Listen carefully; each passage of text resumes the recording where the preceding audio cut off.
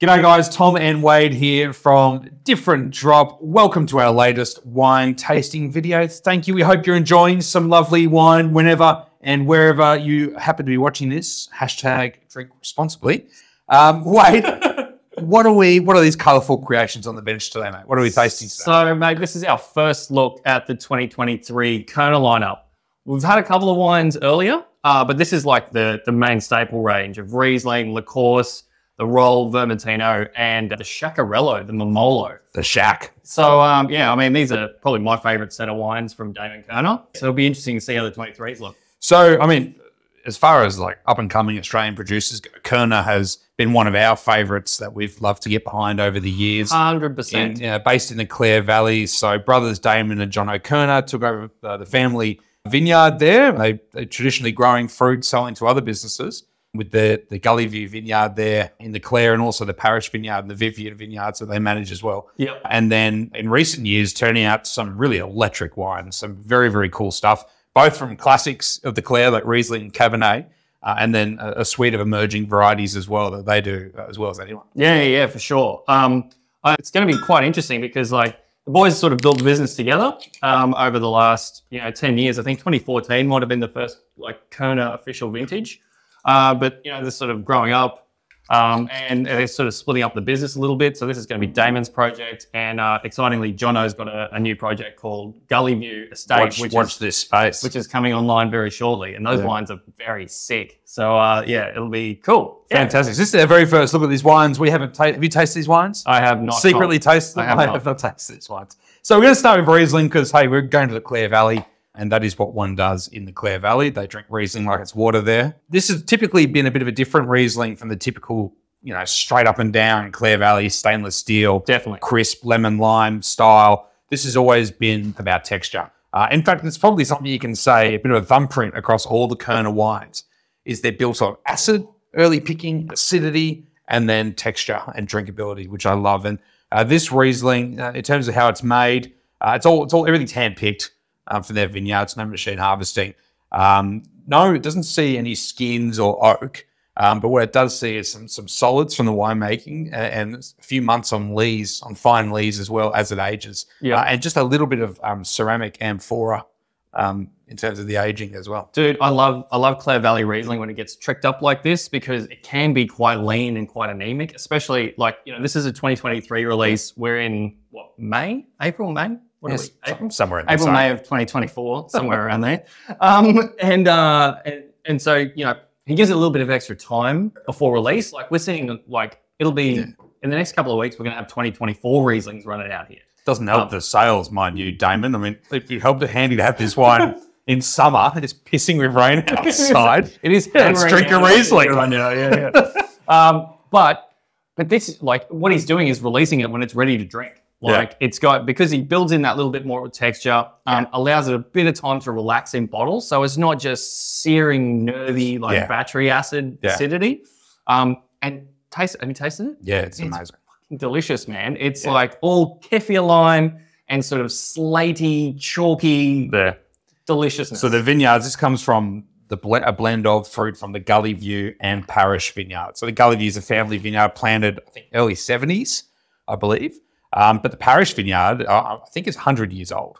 Um, and, and Yeah. they manage that site. Yeah, so there are two single vineyard Rieslings which sort of sit above this kind of blend. But uh, if you just want something you rip the top off right now, it used to be under cork, but now you can literally just rip the top off it under screw cap, and it's an absolute wicked Ah. drink. in terms of what it tastes like, it obviously has that typical Riesling acidity and freshness, and I think that's a real feature of their wines.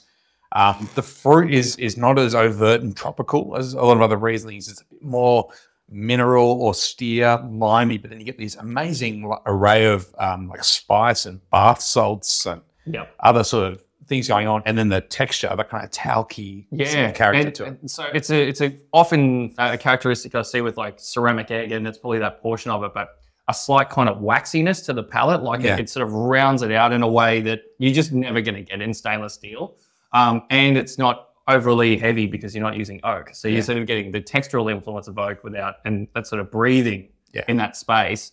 without having uh, yeah any oak flavor. You just get pure, delicious Amazing. water barrel Riesling. Love that wine. This has been, you know, one of the Rieslings I love to collect every year. My favorite Aussie Riesling. So that's a fantastic release of that. So, all right. So from the classics, I mentioned at the top, the boys are um, very well known for their alternative grape varieties. Vermentino. I reckon Koerner makes the best Vermentinos in Australia.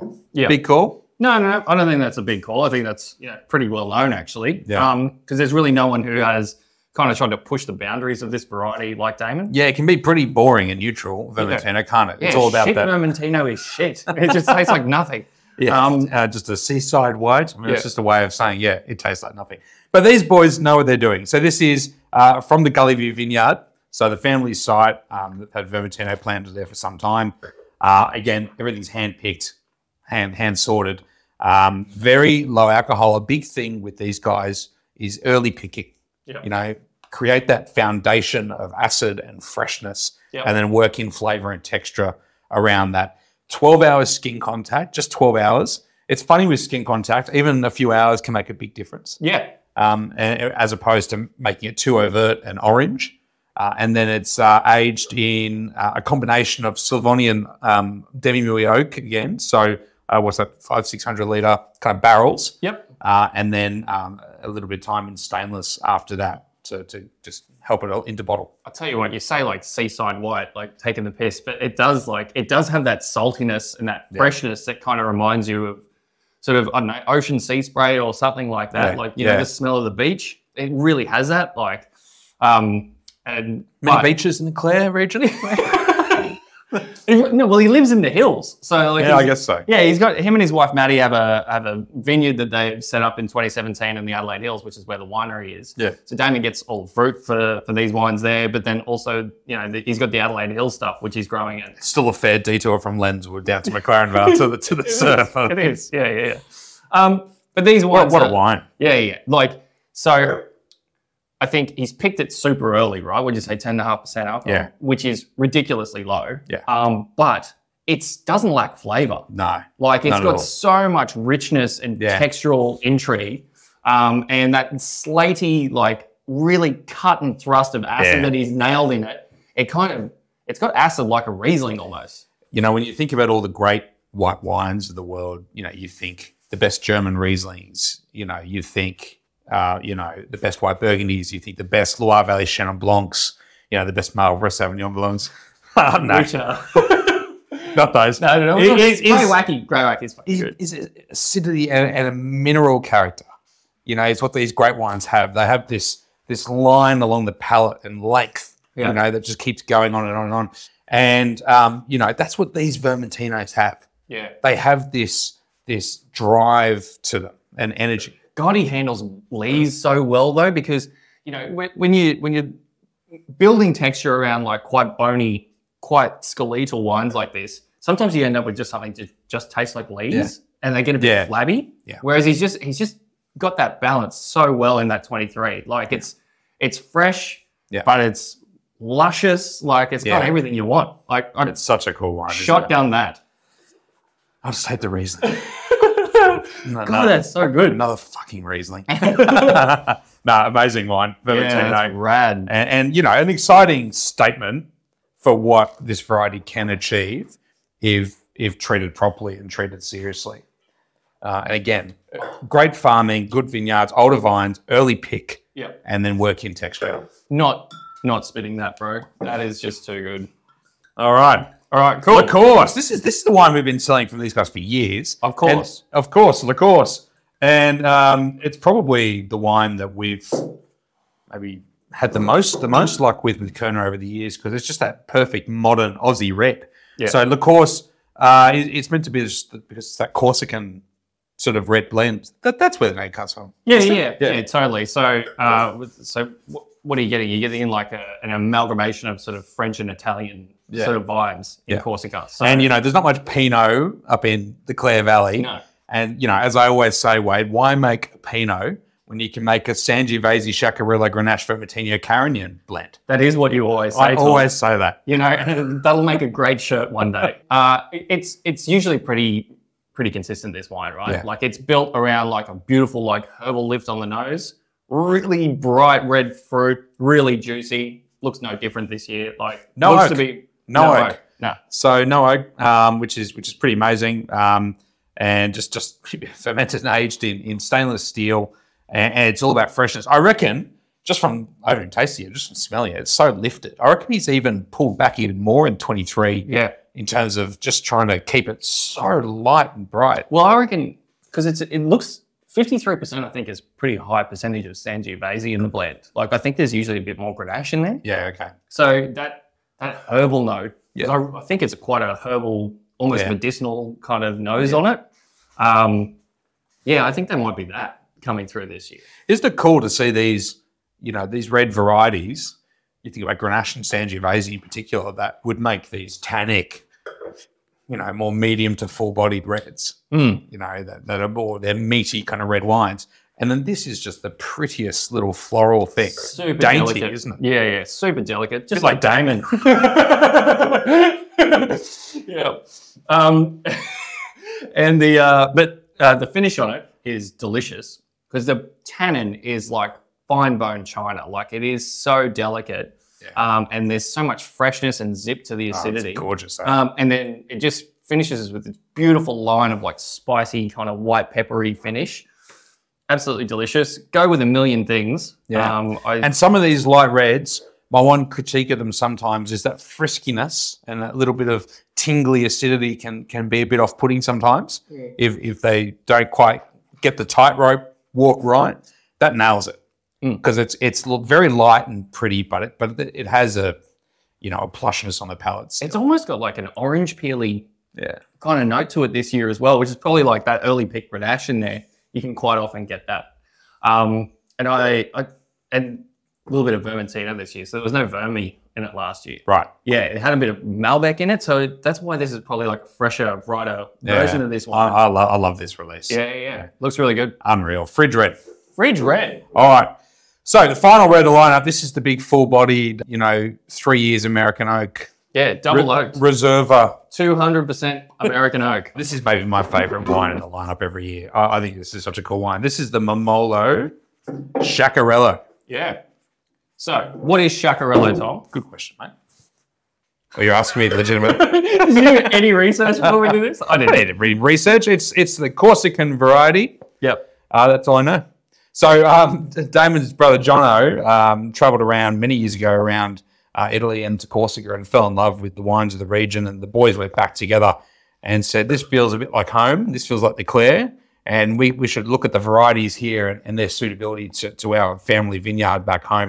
And they came home and they planted Sciacarello, uh, impossible to, to spell, um, but i impossible to put down as well. Oh, Jesus God, yeah, yeah. It looks pretty friggin' Italian, I think. Mm. Like spicy, um, architectural, like it's light bodied, but in the in a similar way that you think like Nebbiolo is like a structural grape. Yeah, variety. well, it sees a bit more time with its skins and it, it, it ages in big, like against Slavonian Foudre, like 2,000 litre, huge Foudres, huge vessels yeah. So he's um, making to age. So he's making like Neb. he's basically making Nebbiolo, yeah. Um, but the yeah, but the tannin structure isn't anywhere near as aggressive as Neb. It's like much much finer boned. How's the And- and- aromas? Yeah, and Amazing. the and the lift on it is really in that sort of tart cherry, like cranberry kind of fruit spectrum. Um, yeah, Such a food. such a evocative nose. I- it just smells amazing. Usually, I think this thing is just like rip the top off it and just you know belt it. But that's probably the most like I would want to see that in a few years version of that wine I've tasted. Maybe the wines are getting A, older. a than- little bit more wound up, isn't it? yeah, yeah. but but none pretty- the worse for it. it. It's a bit more a bit more grunt and a bit more oomph there, but not. I mean, I say that, but it's so pretty as well. The fruit is Yeah. just. There's this thing with these wines, and a lot of the great producers that we're lucky to work with, where you know the fruit has this energy. It feels alive when you drink it. It doesn't feel dried out or stewy or yeah. Uh, on the way down. It's it's just bounces along the palate. I love that. Yeah. It's cool, man. It's nervy. It's a little bit funky. It's super Yeah. spicy. Um, it's got it's got mojo. I love this wine. This is one of my. If someone said to me, you know, pick an Australian red wine, that's a bit different uh, and that you'd like to show people, you know, around the world what we can do here, Yeah. this would be on my short list. This Yeah? is right up there, yeah. hundred percent. Like Cool. for different varieties, you know, you, you'd pick out, you know, a Tassie Pinot, like a McLaren Vale Grenache, Yeah. maybe a Shiraz, maybe if you have to. But um, but I'd look for something alternative, you know, maybe the Brash NDV or this, like Yeah. for these modern Aussie reds from, you know, inspired by warm regions from other parts of the world, making these energetic, nervy, spicy, complex reds. I love them. I dig it, man. I think it's very, very cool. Um, And tiny production. So the Riesling and the the course, there's a, a little bit more of, but when I say more, I mean like a thousand cases. So 1200 dozen or not, something. like not even, yeah. But these two, these are two or three hundred boxes each. So tiny, tiny production from uh, from Damon. So um, Wade, I'm I'm excited, mate. I give this release uh, out of 400 points, uh, 372 Okay. yeah, right. That's for an average of 93. That's a quick maths for you. Okay. Yeah. Oh, yeah, chess master. um, okay, cool. Uh, I'm not going to give it a rating because I, I don't particularly like point scores, but um, I really. He says the man who puts our emails together. 96 plus, must buy. Yeah. yeah. But uh, I, I, I rate them on the on the fucking delicious scale. Um, Where do they rank on that? On the fucking delicious scale. from like really not delicious to fucking delicious, they're probably like top tier, 95% fucking delicious, I reckon. Really? Yeah, I think so. I'm right I, I think it's just like a very, very sick, very individual, very cool Australian lineup. And uh, Damon, just keep doing this because I I'm in love with these wines. Yeah, me too, mate. Yeah, I think one of, one of the most exciting, compelling modern Australian producers uh, with some incredible vineyards and who has a real handle on those sides and somehow it keeps just raising the bar, you know, each, each year. It's really exciting and this is a great release, guys. So get amongst it. Support Koerner. Um, jump on the, the Koerner website or our website. You can find the wines. Um, and subscribe to our YouTube channel. That would be really cool because we're pumping out the videos. And anything else to add, mate? No, drink Koerner, drink cool wines. Sounds good. Cheers. Cheers.